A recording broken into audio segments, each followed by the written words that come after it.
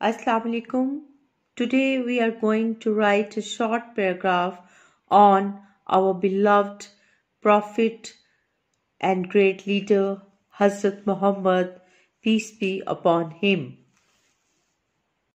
Hazrat Muhammad, peace be upon him भी लिख सकते हैं आप या फिर सल्लल्लाहु अलैहि वसल्लम भी लिख सकते हैं स्टार्ट करते हैं पैराग्राफ हज़रत Mohammad peace be upon him, is the last prophet of Allah. He was born in Makkah in 571 AD. His parents died in his childhood. He was brought up by his uncle Hazrat Abu Talib.